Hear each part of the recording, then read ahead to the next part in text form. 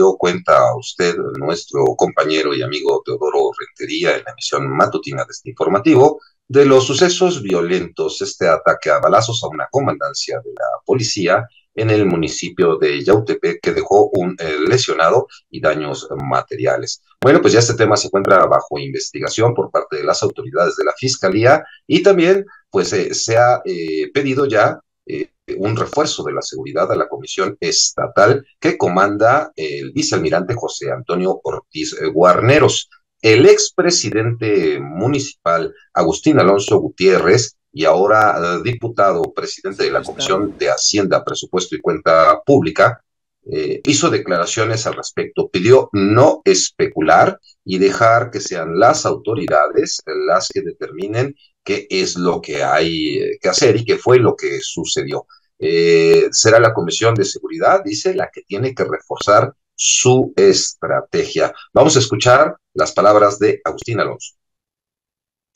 Y bueno, no hay que echar culpas, lo que sucedió ayer fue eh, unos disparos a la comandancia, no, no sabemos la razón, no sabemos los motivos, bueno sí se saben, perdón, pero son de manera oficial, está la fiscalía atendiendo ese tema. Y no es contra el, el, evento, no es contra el carnaval, como se ha venido diciendo, ¿eh? creo que quieren jugar con esa imagen en algunos medios de comunicación, eh, adversarios a, nosotros, adversarios al propio gobierno, a mí mismo, pero no es así, con toda la tranquilidad lo digo, es, es un evento que sucede por una detención que hubo dos días atrás de una persona, una femenina, escapó el hombre y se dice que por ahí viene la agresión. No, quiero abundar más en el tema porque es un tema de investigación, pero es un tema que está relacionado con ese hecho. ¿Son líderes criminales en esa zona? Seguramente, digo, no, una persona normal, una persona sana no, no va a dispararle a la, a la comandancia ni va a enfrentarse ante la autoridad. Eh,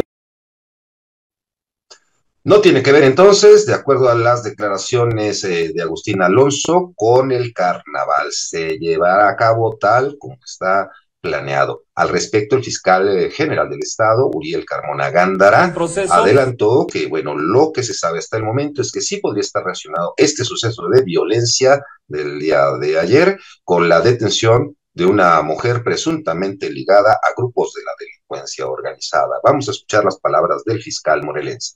No hay más que un lesionado, un civil, no de gravedad, es una persona que transitaba cerca de la comandancia de Yautepec. Aquí estuvo el diputado este, Agustín Alonso, exigió el esclarecimiento de esos hechos. Hay una, hay una cartulina donde un grupo delincuencial que eh, se atribuye el hecho, eso es lo que vamos a revisar, porque no, no tenemos un principio de certeza de que así sea. Entonces, en las próximas horas vamos a tener resultados porque tenemos nosotros señalamientos importantes. La investigación nos va a arrojar datos con los que vamos a dar eh, con esa gente, ¿no? Porque ya es, una, ya es un ataque con la, autoridad. contra la autoridad. por una mujer que se detuvo, una mujer ligada a la delincuencia. Esa es una de las principales líneas de investigación. De hecho, así, así lo tenemos nosotros. Eh, estamos trabajando una importante detención. Entonces, eso, eso podría ser uno de los los, de los móviles ¿no? que tenemos, pero no, no, descartamos las demás. A ver, ahí atrás no ¿Qué grupo se lo adjudica? No, no, miren, como, como los mensajes que se hacen los grupos delincuenciales en cartulinas, mantas, no tienen realmente un principio de, de certeza, no, no, no es prudente adelantarse porque pueden, ser, pueden usarse para distraer o para arrojar culpas a otros grupos delincuenciales o incluso autoridades. Entonces tenemos que ser muy objetivos. Lo que sí les puedo decir es que tenemos una gran presión en la Procuraduría, en la, perdón, en la Fiscalía del Estado para esclarecer ese hecho. Fue materia de esta mesa de, diálogo que tuvimos con los diputados. Insisto, ahí estaba el diputado Agustín Alonso, que como ustedes saben es originario de, de Yautepec. Bien, y al respecto hay otra voz que también eh, se refirió a este tema, admitió que sí existe una preocupación por estos sucesos violentos en Morelos. El presidente de la mesa directiva del Congreso local, Francisco Eric Sánchez Zavala, Paco Sánchez, dijo que es necesaria una mayor coordinación con los municipios en esta materia de seguridad. Vamos a escuchar sus declaraciones. Realmente es una preocupación que tenemos desde el Congreso el tema de la inseguridad en nuestro estado de Morelos. la zona oriente por supuesto, pero pues en general Cuernavaca no escapa a la zona sur. Eh, yo creo que también hago un exhorto a la Comisión Estatal de Seguridad que está pendiente eh, en la coordinación que se tiene con los municipios eh, para atender estas fiestas que son ya muy tradicionales en los municipios, como los carnavales, precisamente que acabo de decir, fiestas patronales incluso, para que se cubran y evitemos y salvaguardemos la integridad de los visitantes, de los visitantes y de las personas que viven. Es un tema que por supuesto se tiene que garantizar la seguridad, es el principal eh, fuente de que llegue economía, de que llegue el turismo.